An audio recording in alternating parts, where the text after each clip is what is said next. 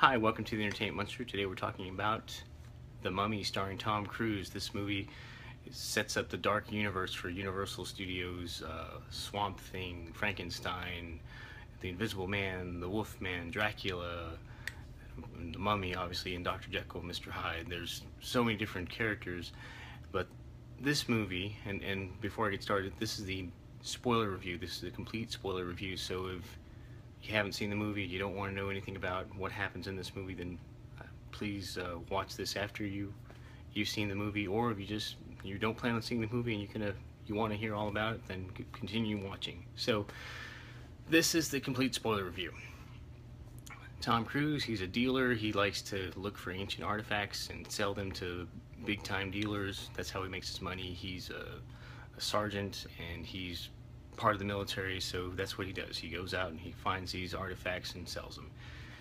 They happen to uncover the mummy uh, who's been buried uh, under this, you know, burial ground that's been there for thousands of years, what, 5,000 years, I believe, because she was cursed. She killed her father, she killed her lover, she was trying to gain power, and that's what she wanted. That's what she was hunger, hungering for. So she was buried uh, in a tomb uh, under Mercury, and, that's where they kept her all this time. So he pulled he, he rescued her with un, unwittingly saved her from her prison. So she chose him to be her sacrifice. That way she can put the demon inside of him, and, and he can she can rule with him.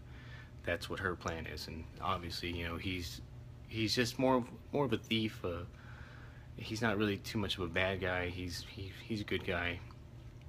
He finds this. They and we've all seen the entire trailer from what happens on the plane. You know how the birds go into the plane and they destroy the plane. It goes down.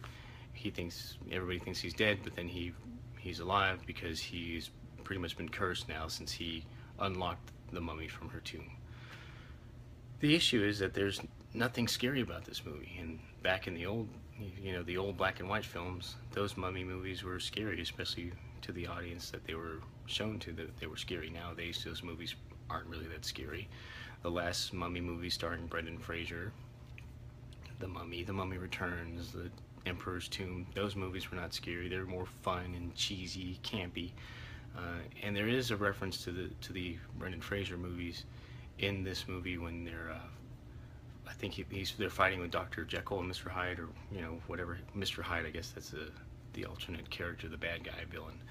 So there is a reference when they pick up the book. So I'm wondering if those movies still exist in this universe. I'm not too sure. It doesn't really go into detail, or maybe it's just an Easter egg that they popped in there.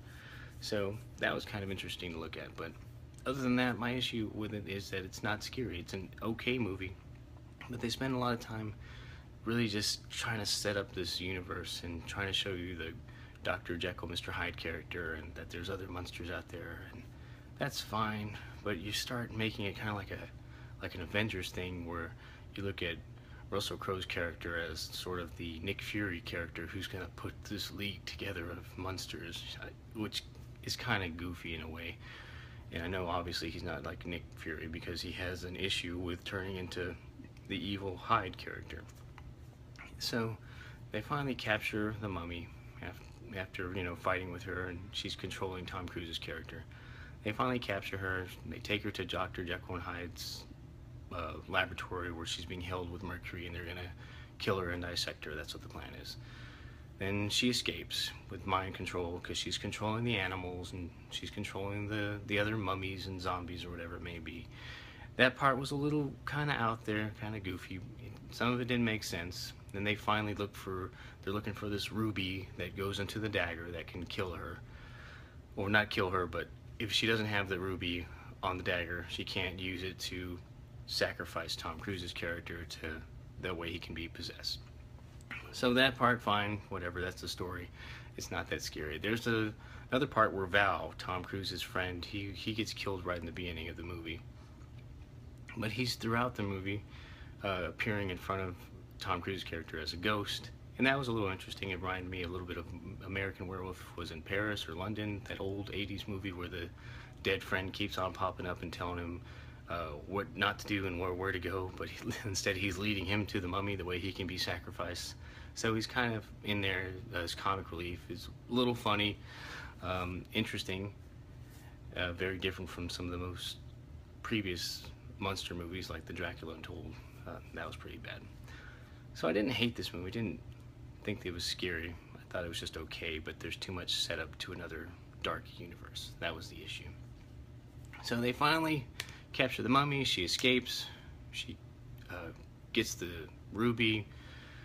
Uh, Tom Cruise's character finally sacrifices himself. That way he can gain power and destroy her. And he sucks the life out of her and she becomes a mummy again. And that's pretty much where they leave it. There's no post-credit scenes.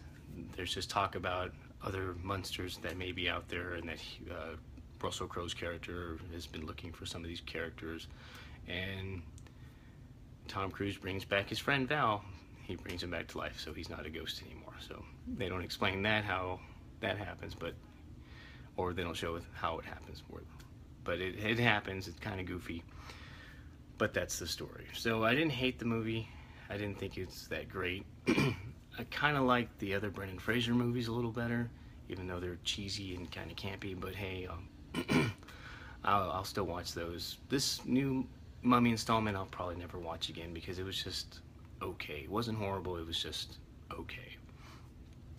but way better than the Dracula Dracula Untold movie that came out a few years ago. So anyway, that's my thoughts. Let me know what you thought. Uh, thanks for watching. Don't forget to subscribe and see you next time.